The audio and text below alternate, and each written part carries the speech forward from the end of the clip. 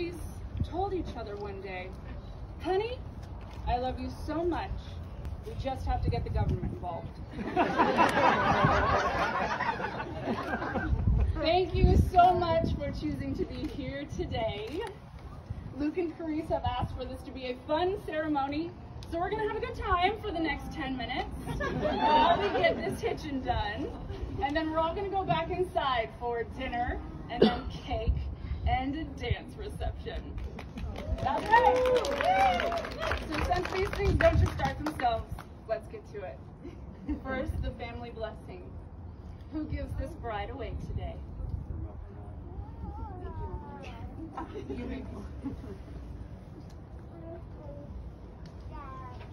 Now, if anyone has cause to object to the forming of this union, speak now or forever hold your peace, or consider taking a walk in the woods. and that was for. She's not here. Oh. oh, and now it's time for a sermon by Robin. We hold marriage up as a tradition in this country. Now, over the last few decades, we have debated about it a lot, but at the end of the day, why do we do it? Well, I made a joke in the intro that when two people love each other, they just gotta get the government involved. But is that really all it is? No, of course not. it's a tradition, yes, but we change traditions all the time. And we keep the essence of those traditions alive in their new forms. So nowadays, marriage is not like it used to be when Ralph Kramden promised to knock his loving wife Alice straight to the moon night after night in the 1950s. Luke, you are definitely not allowed to do that at all. In fact, Bruce, you're not allowed to do it either. Check. No one is allowed to knock anybody to the moon, no matter how hairy it gets. Okay? But there it is, the crux of why we do this thing called marriage. Sure, it's a lot of work, and it takes compromise. At the end of the day, though, when you're married, you have someone to come home to. You have someone who promises to love you, no matter how smelly your socks get, no matter how bad your mood is, no matter what the universe decides to drop on your head each week.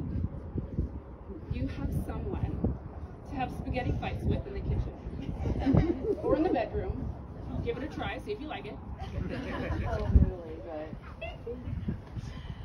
Someone to laugh with at the same silly jokes. And in time, you discover that you have someone who shares a very special secret language just between you two. We do marriage because it is lovely to have someone walking beside you through this thing called life. So Luke and Kerrice, I can't think of two better suited people than you to take this journey together. oh, I didn't bring tissue. oh, you've certainly both made me smile in the time that I've gotten to watch you, you two not together. Some, did you? Oh, I was like, of course you did. Perfect. You're off to a great start. oh. no, I got it. In the time I've gotten to watch you two together, you have both certainly made me smile. And I can tell that your marriage is going to be built on a foundation of comedy, but also love and trust. And that's the best shot any of us can give it, right? And you're going to need to pay attention to that foundation of love and trust throughout your marriage. You will need to act with more patience than you've ever had before.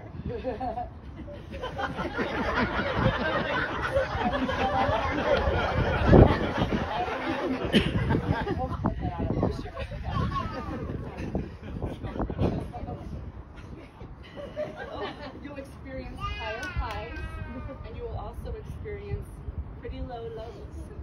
But you guys will get to do this together. For good. For good. So with that in mind, let's check some legal boxes, shall we? The Declaration of Intention. Luke, do you take Kerrice to be your lawfully wedded spouse, to love and comfort her for better or worse, in sickness and health, and reap all tax benefits for as long as you both Kerrice, do you take Luke to be your lawfully wedded spouse? Oh, I forgot the O.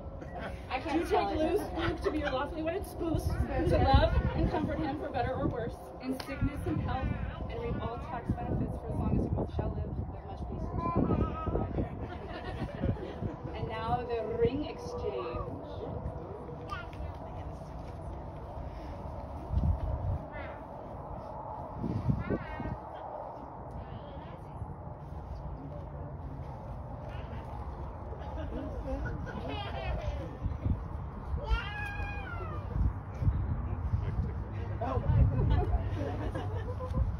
All right, Luke.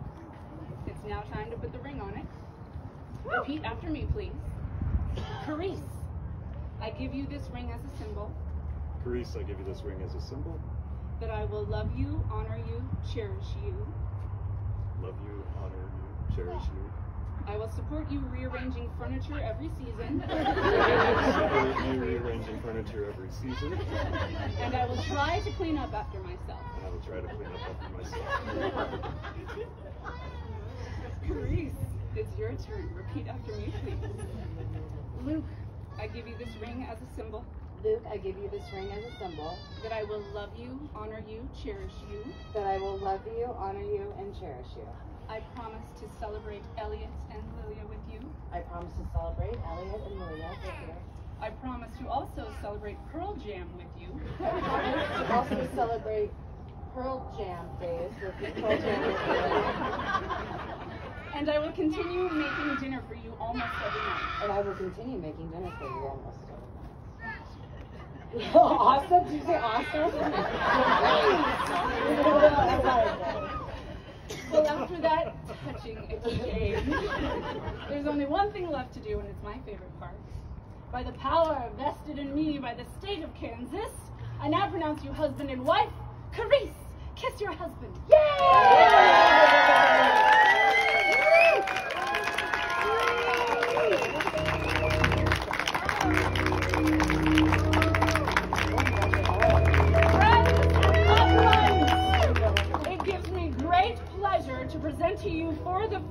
time Mr. and Mrs. William Domme.